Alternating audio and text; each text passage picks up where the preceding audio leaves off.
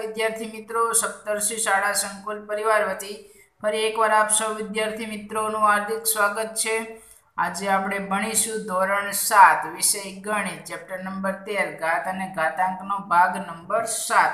એટલે કે આજે આપણે ભણીશું સ્વાધ્યાય તેર પોઈન્ટ બેના પ્રશ્ન નંબર પાંચથી આગળ. જો સૂચના આપેલી છે કે સાદુરૂપ આપો તો ઘાતવાળા નિયમોનો ઉપયોગ કરવાનો છે. તો કે આપણને જો પહેલાંની રકમ આપેલી છે બેની પાંચ ઘાત, એની માથે પણ કેટલી આપેલી છે બે ઘાત. ગુણ્યા સાતની ઉપર ત્રણ ઘાત એટલે આપણે સાતનો ઘન પણ કહી શકીએ. આખાના છેદમાં આપેલું છે આઠનો ઘન ગુણ્યા સાત. તો આપણે કિંમત મેળવવાની છે સાદુરૂપ આપીને ફાઇનલ તો કે બેની ઉપર કેટલી ઘાત છે? પાંચ અને બે. તો કે ઘાતની ઘાત છે તો કે કયો નિયમ લાગશે? ઘાતની ઉપર ઘાત હોય તો ઘાતની શું થઈ જશે? ગુણાકાર. તો કે ઉપર થઈ ગયું પાંચ બેની પાંચ ગુણ્યા બે ઘાત. ગુણ્યા સાતનો છે ઘન, છેદમાં આઠ છે. તો કે આઠ એટલે ઓલરેડી બેની ત્રણ ઘાત છે. બે ગુણ્યા બે ગુણ્યા બે કરીએ તો બેનો ઘન થાય તો તેનો જવાબ આઠ આવે છે. તો કે બેના ઘનની ઉપર ત્રણ ઘાત. આવું લખી શકાય? બેની ત્રણ ઘાત. કોના માટે લખવું આ આઠ માટે. ગુણ્યા સાત. તો કે આપણે સરખા સરખા પદો બનાવીએ તો ઉપર છે ઘાતવાળા, સરવાળા, બાદબાકીના નિયમો છે. એ લગાડી શકે તો. ઉપર જો બેની દસ ઘાત થઈ ગઈ, ગુણ્યા સાતનો ઘન. છેદમાં જો ડાયરેક્ટ લખું છું, તો બેના ઘનનો ઘન એટલે ઉપર ઘાતનો શું થશે? ગુણાકાર. તો કે ત્રણ તેરીને કેટલી ઘાત છે? જશે નવ અને છેદમાં બાજુમાં શું છે? સાત. હવે નિયમ લગાડી દઈએ. તો કે ઉપરવાળી જો બેની ઘાત દસ છે, નીચે નવ છે, મોટી ઉપર છે? તો કે ઉપર લઈ જાય. જ્યારે ભાગાકાર હોય, આધાર સરખા હોય, તો ઘાતની શું થાય? બાદ બાકી એ જ પ્રમાણે બાજુમાં પણ એવું છે. ઉપર ત્રણ ઘાત છે ને નીચે કાંઈ નથી, તો કે એક ઘાત તો હોય જ. તો કે ઉપર આપણે વાત કરવા લઈ જવાની ત્રણમાંથી એક જાય તો તો કે બેની એક ઘાત બેચી, એટલે આ પ્રમાણે લખાય ખાલી બે ગુણ્યા સાતની કેટલી ઘાત બેચી છે? બે. તો કે ગુણાકાર કરી નાખાય સાતની બે ઘાત એટલે સાત ગુણ્યા સાત લખાય. તો કે બે ગુણ્યા સાત ગુણ્યા સાત સત્યુ સત્યુ કેટલા થઈ ગયા? ઓગણપચાસ ઓગણપચાસ ગુણ્યા બે. કેટલો જવાબ આવે છે આપણો? અઠ્ઠાણું. કેટલો જવાબ આવ્યો પહેલાં? સાદુરૂપ આપીને અઠ્ઠાણું.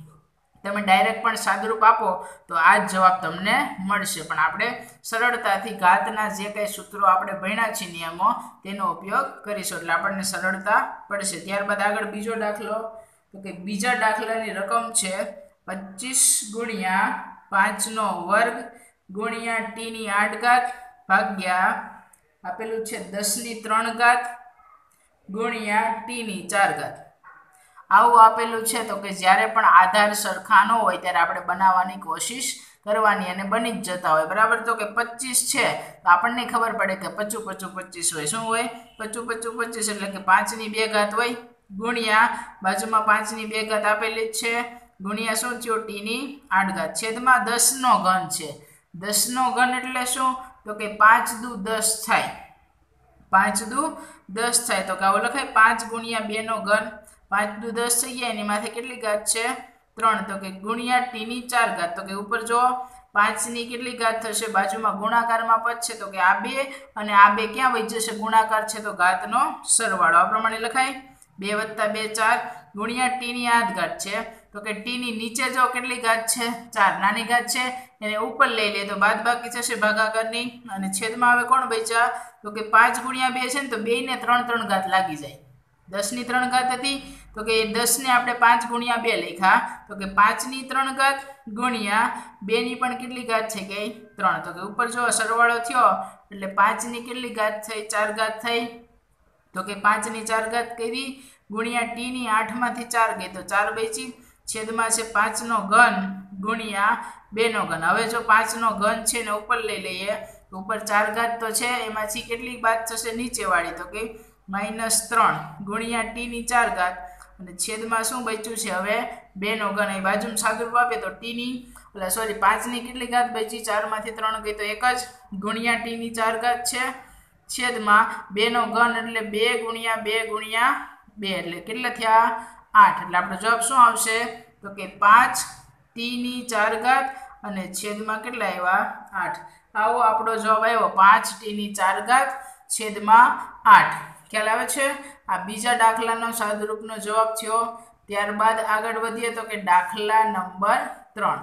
દાખલા નંબર ત્રણ અહીંયા ઉપર લખું છું.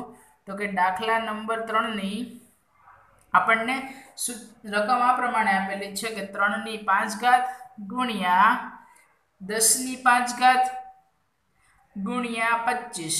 આખાના છેદમાં પાંચની સાત ઘાત ગુણ્યા છની પાંચ ઘાત.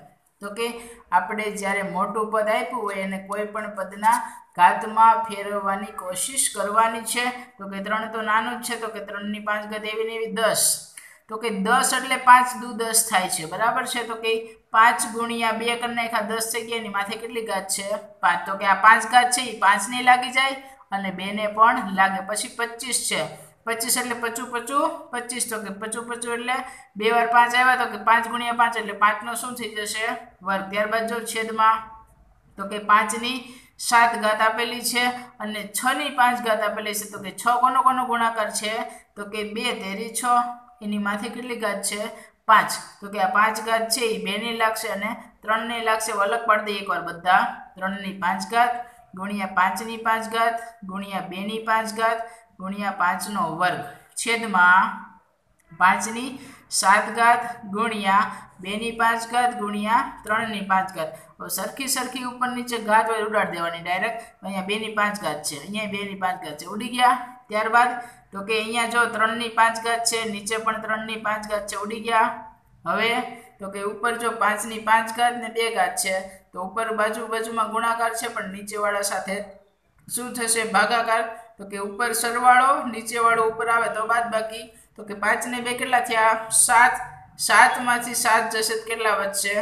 તો કે ઝીરો અને આપણે ભણ્યા છીએ. કોઈ પણ પદની માથે ઝીરો ઘાત આવે તો શું જવાબ આવવાનો છે આપણો? એક. શું જવાબ આવવાનો છે? એક. ખ્યાલ આવે છે? તો અહીં આપણું સ્વાધ્યાય તેર પોઈન્ટ બે પૂર્ણ થાય છે. ત્યારબાદ ત્યારબાદ આગળ વધીએ તો કે સ્વાધ્યાય તેર પોઈન્ટ પૂર્ણ કર્યા, ત્યાં તેર પોઈન્ટ બે પૂર્ણ કર્યા પછી આગળ વધીએ તો કે તેર પોઈન્ટ ત્રણ આપણે જે ચાલુ કરવું છે તો કે સંખ્યાઓ માટેનું છે અને ઘાત ઘાતાંક સ્વરૂપે જ્યારે મોટી સંખ્યાઓ આવી હોય એને આપણે કેવી રીતે સરળતાથી લખી શકીએ, તેના માટેની માહિતી આપેલી છે. જો લખ્યું છે કે નીચેના જેવી મોટી સંખ્યાને ઘાતાંકનો ઉપયોગ કરીને આપણે ટૂંકમાં નીચે પ્રમાણે લખી શકીએ, તો પહેલું જો શું આપેલું છે આપણને એંસી, ત્યારબાદ આપેલા છે પાંચ મીંડા, એટલે ટોટલ આપણને આપેલા છે છ મીંડા. આઠની પાછળ કેટલા છે? છ મીંડા. આપણે વાંચવું હોય તો વંચાય. એંસી લાખ કેટલા વંચાય છે? એંસી લાખ તો કે આને આપણે સરળતાથી લખવું હોય તો આઠ ગુણ્યા જેટલા શૂન્ય છે આપણે એક, બે, ત્રણ, ચાર, પાંચ અને છ. તો કે એને દસની ઘાત ચડાવી દેવાની. તો કે દસની કેટલી ઘાત થઈ ગઈ?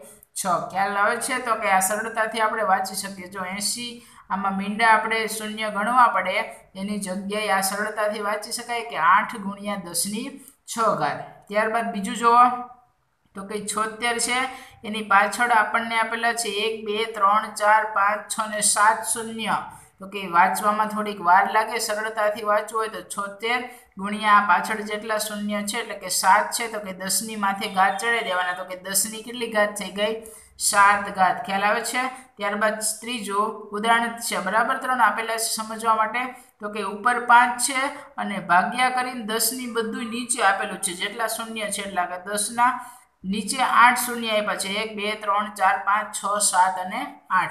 તો કે જ્યારે ભાગાકારમાં શૂન્ય હોય, તો કે છેદમાં લખવા હોય આપણે, તો કે આ પ્રમાણે લખાય. જો છેદમાં લખવા હોય ને, તો કે પાંચના છેદમાં દસની આઠ ઘાત આવું લખાય સરળતા માટે. પણ જ્યારે એને આપણે ઉપર લઈએ છીએ, તો આ પ્રમાણે થઈ જાય. દસની આઠ ઘાત નીચે પ્લસ છે, તો ઉપર આવે તો દસની આઠ ઘાત કેવી થઈ જાય? તમારી માઇનસ. એટલે કે દસની માઇનસ આઠ ઘાત આવું થઈ જાય. પાંચ ગુણ્યા દસની માઇનસ આઠ ઘાત હવે આ સંખ્યાઓને આપણે પ્રમાણિત સ્વરૂપે કઈ રીતને દર્શાવી શકાય? તેની વિશે થોડી થિયરી આપેલી છે. તો કે દશાંશ સંખ્યા જે એક અને દસની વચ્ચે હોય તથા તેનો ગુણક. તેના ગુણાકારમાં જે કોઈ પદ આપ્યું હોય, એને ચોક્કસ ઘાત હોય, તેને પ્રમાણિત સ્વરૂપની સંખ્યા કહે છે. એટલે કે આપણું પદ હંમેશા કોની વચ્ચે હોવું જોઈએ? એક અને દસની વચ્ચે. એટલે કે પોઈન્ટ હોય, તમારી કોઈ પણ સંખ્યામાં પોઈન્ટ હોય, તો કે પોઈન્ટની આગળ ફક્ત એક જ અંક હોવો જોઈએ. ખ્યાલ આવે છે? પોઈન્ટની આગળ કેટલો? ફક્ત એક જ. જો બે અંકની આગળ લઈશું તમારી સંખ્યા દસ કરતાં મોટી થઈ જાય. કેવી થઈ જાય? દસ કરતાં મોટી. એટલે પોઈન્ટની આગળ ફક્ત આપણે એક જ અંક રાખવાનો છે. એને શું કહેવાય? પ્રમાણિત સ્વરૂપની સંખ્યા. તો કે જો પહેલું ઉદાહરણ આપ્યું છે કે પંદર એટલે શું? તો કે આપણે પંદર એટલે દસ કરતાં મોટા થઈ ગયા. આ પ્રમાણે લખાય. પોઈન્ટ લગાડ્યો વચ્ચે એક પોઈન્ટ પાંચ ગુણ્યા દસ. એક પોઈન્ટ પાંચ ગુણ્યા દસ એટલે કે દસ જ છે ખાલી. તો કે દસની એક ઘાત. એક પોઈન્ટ પાંચ ગુણ્યા દસની એક ઘાત. ત્યારબાદ એક એમાં શૂન્ય ઉમેર્યું. એટલે કે પંદર ગુણ્યા દસ કીધા તો કેટલા થઈ ગયા? એકસો ને પચાસ. તો કે એકસો પચાસને આપણે પ્રમાણિત કરવા છે, તો અહીંયા પોઈન્ટ લગાડી દેવાનો કે પોઈન્ટ પોઈન્ટની આગળ ફક્ત એક જ આંકડો હોય તો કે એક પોઈન્ટ પાંચ ગુણ્યા કેટલા થશે? તો કે સો. કેટલા થશે? સો. અહીંયા જો સો લખેલા છે, હા, એકની પાછળ બે શૂન્ય. તો કે સો એટલે શું છે? તો કે દસની બે ઘાત છે, તો કે એક પોઈન્ટ પાંચ ગુણ્યા દસની બે ઘાત. એ પ્રમાણે હજી એક શૂન્ય ઉમેર્યું છે કે તો પંદરસો થઈ ગયા. પંદરસોને પ્રમાણિત કરવા હોય તો અહીંયા પોઈન્ટ લગાડીએ તો પાછળ ત્રણ શૂન્ય આવશે એટલે કે હજાર આવશે. એક પોઈન્ટ પાંચ ગુણ્યા હજાર. હજાર એટલે દસ કેટલા શૂન્ય છે? એટલી ઘાત. તો કે એક પોઈન્ટ પાંચ ગુણ્યા દસની ત્રણ ઘાત. એ જ પ્રમાણે આગળ. તો કે અહીંયા આપણે પંદર હજાર છે. તો કે પંદર હજારમાં પણ એક પોઈન્ટ પાંચ ગુણ્યા કેટલા થઈ જશે? દસ હજાર ચાર શૂન્ય અહીંયા પોઈન્ટ મૂકો છે તો આંકડા ગણી લેવાના. એક, બે, ત્રણ અને ચાર ચાર ચાર શૂન્યવાળા કોણ બને? તો કે દસ હજાર એટલે કે દસની ચાર ઘાત જો જવાબ શું આવ્યો છે? ફાઇનલ એક પોઈન્ટ પાંચ ગુણ્યા દસની ચાર ઘાત આ થઈ આપણી સ્વાધ્યાય તેર પોઈન્ટ ત્રણ આગળની થિયરી. હવે તો કે સ્વાધ્યાય તેર પોઈન્ટ ચાર આપણે નેક્સ્ટ વીડિયો લેક્ચરમાં ભણીશું.